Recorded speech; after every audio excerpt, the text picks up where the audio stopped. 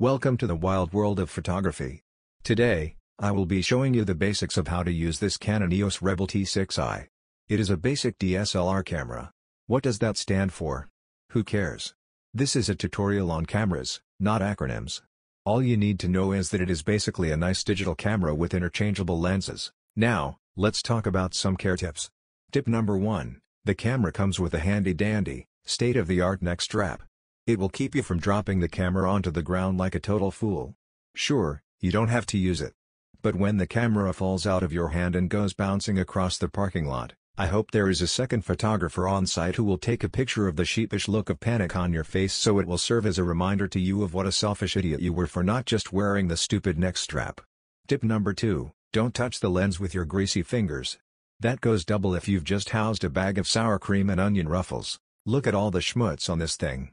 It is obvious that the previous caretaker did a terrible job. How to hold the camera. First, grab it with your right hand.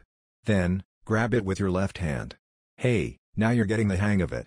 Congratulations, you're now holding the camera. Oh god, are my arms really that hairy? I look like some kind of primate. How to take pictures.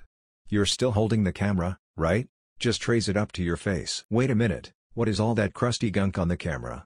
On second thought, maybe you shouldn't put that thing anywhere near your face. Oh man, you already did it. Oh well, too late. Maybe just wipe down your face with a Clorox wipe after you're done. Well, let's get this over with as quickly as possible. Just look through that little hole and press the button. Voila! That's how you take a picture. Now hurry up and get that filthy thing away from your face before it gives you some kind of disease. If you really want to seem like a seasoned professional, hold the button down.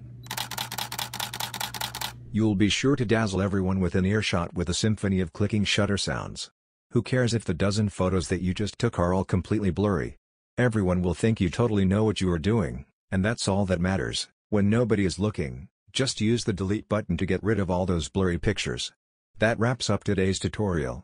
On the next episode, we will tackle some more advanced camera techniques, like how to use the lens cap.